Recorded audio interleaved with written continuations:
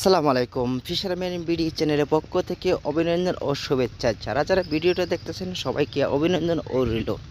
Because আমাদের এখানে যে মাছগুলো দেখতেছেন, ভিয়েতনামি শৈল মাছের পোনা। এই শৈল মাছগুলো দেখা গেছে নতুন অবস্থায় রয়েছে। এই ভিয়েতনামি শৈল মাছগুলো নতুন সাইজে অতএব আমাদের এখানে মাছের সাইজ রয়েছে এক ইঞ্চি অতএব দেড় ইঞ্চি। এই সাইজের পোনাটা আমরা বিক্রি করে থাকি অতএব সরাসরি হোম ডেলিভারি। বিকজ আপনাদেরকে মাছগুলো দেখায় দিচ্ছি। এখানে যে দেখেন মাছগুলো সাইজ রয়েছে দেড়। এই সাইজের পোনাটা আপনার ফিট খাবার অভ্যস্ত। দেখা গেছে আপনার ফিটের মাধ্যমে মাছগুলো চাষ করতে পারেন অতি সহজভাবে। তার মাধ্যমে দেখা গেছে এই শৈল মাছের ক্ষেত্রে চাষ সম্পর্কে তথ্য অতি বিস্তারিত আপনাদেরকে বলে যাচ্ছি।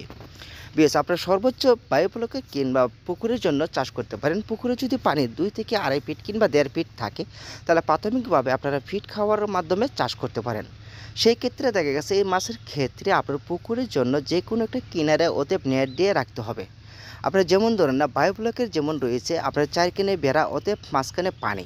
এই পানির মাধ্যমে মাছগুলো চাষ করতে পারেন, অতএব আপনারা এইভাবে বায়োব্লকের মতন সিস্টেম করে আপনারা পুকুরে আপনার অবস্থার মাধ্যমে করতে হবে। দেখা গেছে আপনার প্রাকৃতিক খাদ্যতে আপনার চাষ করতে পারেন কিংবা আপনার ফিটের মাধ্যমে চাষ করতে পারেন। সরাসরি আপনার পুকুরে যদি আপনার বড় পুকুরে কিংবা কালচারের ক্ষেত্রে দিয়ে দেন, তাহলে মাছগুলো ফিট খাবার খাইতে খেতে খুব সময় লাগবে। তার মাধ্যমে দেখা যাচ্ছে অল্প সময়ের ভিতরে আপনার ফিট মাধ্যমে আপনারা ধরাতে পারেন ওতে আপনার নার্সিং করতে হবে। বিএস এই মাছটি দেখা গেছে আপনার পুকুরে নার্সিং করে তারপর মাছগুলো চাষের সফলতা পেয়ে থাকবেন। বেশ, এই মাছগুলো দেখা গেছে কোয়ালিটি হিসাবে অতএব গুণগত মান স্বয়ং সম্পূর্ণই ভালো। মাছগুলো দেখা গেছে এক সাইজের ভিতরে এই ভিয়েতনামি শৈল মাছের পোনা। আপনার পুকুরের জন্য চাষ করেন কিংবা বায়োপ্লকের ক্ষেত্রে যোগাযোগ করতে পারেন।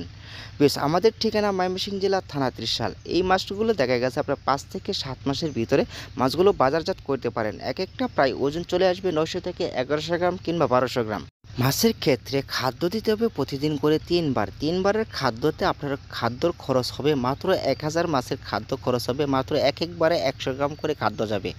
তিনবারে তিনশো গ্রাম খাদ্য যাবে। এভাবে এভাবেই আপনারা খাদ্য দিয়ে যাবেন ওতে প্রতিদিন মাধ্যমে। প্রতিদিন খাদ্য, আপনার তিনবার খাদ্য দিলে মাছগুলো দেখা গেছে যখন হোয়াইট চলে আসবে, মাছগুলো আবার পানি পুকুরে কিংবা বায়ুপুলকে পানিটা বাড়া দিতে হবে। বেশ, ভিডিওটা বা কেমন লেগেছে, অবশ্যই কমেন্ট